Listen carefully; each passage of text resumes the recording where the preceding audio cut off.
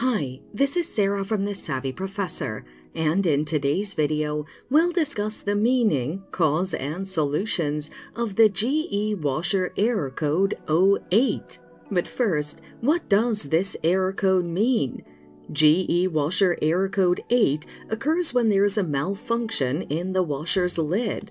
This error is triggered when the lid fails to lock.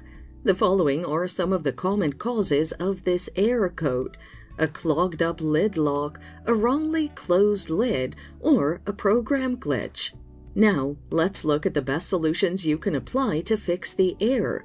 Examine the lid lock. Accumulating debris and foreign objects over time may tamper with the proper functioning of the lid.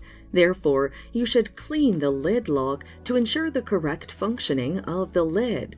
Restart the washer and check for the air. Check whether the lid is fully locked.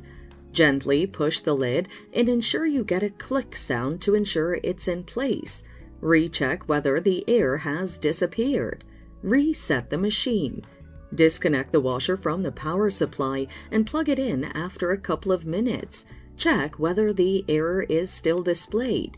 If the air fails to clear, seek a technician's assistance. And that's it. Thanks for watching. Till next time.